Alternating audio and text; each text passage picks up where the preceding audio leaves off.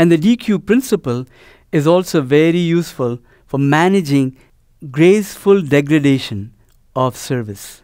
So DQ defines the total system capacity. So if a server is saturated, meaning that we have reached the limit of the server in terms of DQ. That's a constant. DQ is a constant.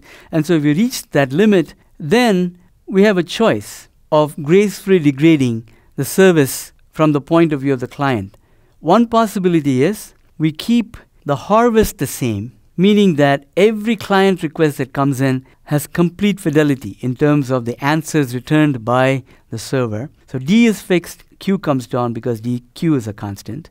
That's one option. The other option, of course, is to keep the volume of clients that are serviced, that is, the yield Q to be a constant, but decrease the harvest. So the fidelity of the results returned to the users is less than 100%, but we are keeping more of the user community happy by serving more of them. Because DQ is a constant, it allows us to gracefully degrade the service being provided by the server depending on the choice that we want to make in terms of fidelity of the results or the yield that we want to provide to the user community. In other words, the DQ principle gives us an explicit strategy for managing saturation. So, as a system administrator, when we make these decisions on which to sacrifice and which to keep constant, we know how our decisions are going to affect the harvest, how it's going to affect the yield, how it is going to affect the uptime, and so on. So, the choices that a system provider has, or strategies that a system provider can use in structuring the service, knowing that DQ is a constant, is when the server is saturated, they can do cost based admission control. You pay more, you get more.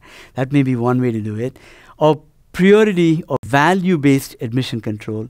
That may be another way to deal with server saturation. Or reduce data freshness. That is, the harvest may be the same, but you reduce the fidelity of the data. For instance, if I'm serving videos and I can serve the videos at different bit rates, if the server is saturated, I might decide to serve the video to all the users, all the videos that they want, but at a lower bit rate.